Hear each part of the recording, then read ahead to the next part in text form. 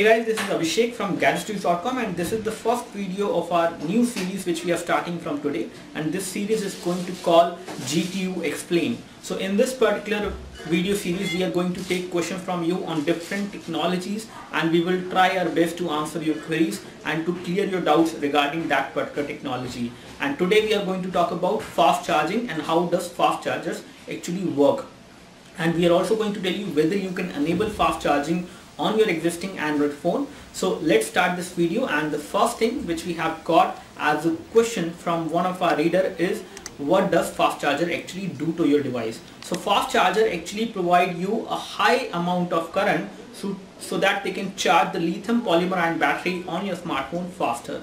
Again, most of, most of the smartphones these days come with lithium polymer ion battery or lithium ion batteries and these batteries can get charged faster if you provide high amount of current. Again, providing high amount of current is not always right because if your phone cannot handle that much high amount of current, firstly it will generate good amount of heat so the device will become hot in terms of temperature and it will also affect your battery life in the longer run. So you might be able to charge your device with a third party charger which could be a fast charger of some other Android phone and you are using that charger with your Android phone, you can charge your device faster, but the device battery will be affected and the device will be heated up much more. So it is all about whether the charger is designed for your smartphone. Most of the companies like Samsung, LG, Sony, what they do is they have a handshaking technology in which the charger actually talk to the device and then once that thing is going on, the charger can give more current to the device if the device need that. So in this particular technology, the chargers are designed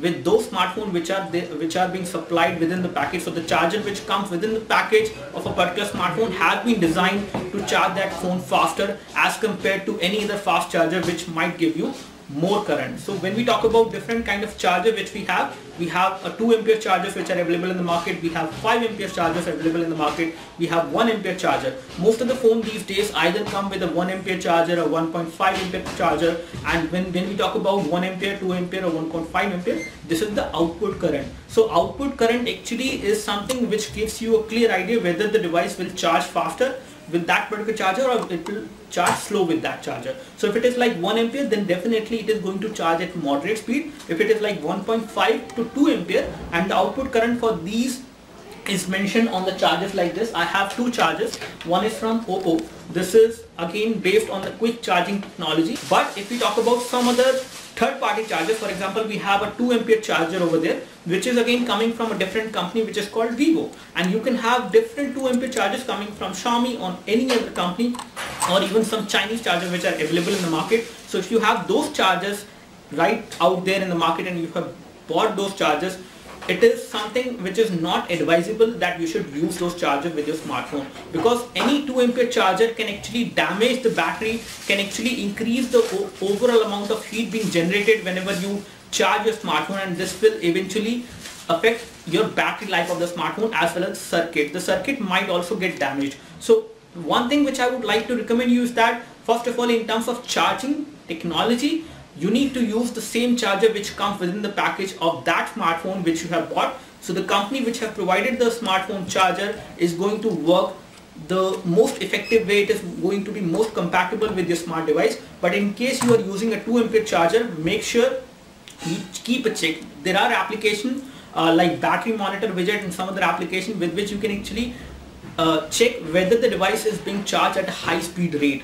If you don't see that happening, then you better not use a third party charger. There are some chargers which are there in the market which are again equipped with the Qualcomm Quick Charge 2.0 technology which is a chipset based technology. If you see that particular thing being mentioned on any fast charger which you buy from the market, then you can use those chargers. But using any 2 ampere charger which is a third party charger and you think that will eventually charge your device faster. It may but it will eventually affect your battery. Now if we talk about the low speed charger for example the low speed chargers which we have in the market again one which comes with Apple iPhone. So Apple iPhone comes with a 1 ampere charger and there are some other companies which also provide 1 ampere charger. So most of these 1 ampere chargers actually give you more than 1 ampere of current. So they already charge your device faster in case your device support that feature So it is going to be something which your device has to support unless you won't be able to charge it faster. Second thing, I would rather recommend you to use 1 ampere charger or the charger which comes within the package of your phone because using a high output current charger can actually damage your phone circuitry as well as affect the battery life. And it can actually make it eventually much more hot as compared to any other use case scenario table you might not be able to hold it comfortably. So this is something which will happen. So three things which you need to uh, note. First is use the charger which come within the package. Whenever you want to buy a third party charger make sure you check the charger and the output current from that charger. It should not be more than the default charger output current which you got within the package of the phone. In case you are buying a third party charger which is a fast charger in that case you need to find out whether the charger is coming from a right company. If it is a Chinese charger, most probably it is going to damage your device, but it is something coming from Samsung, LG or some other company, then it, it will eventually help you to charge your device faster, but not a great difference will be there in terms of the charging time.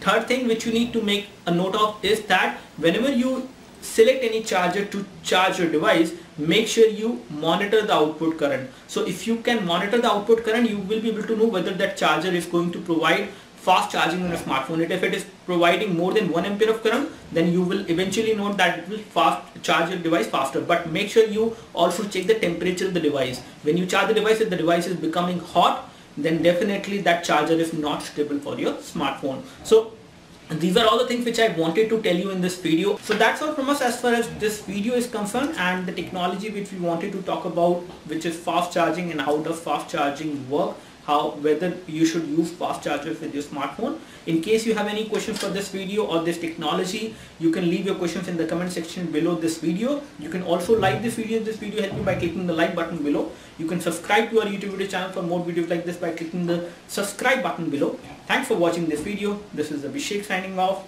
Thank you.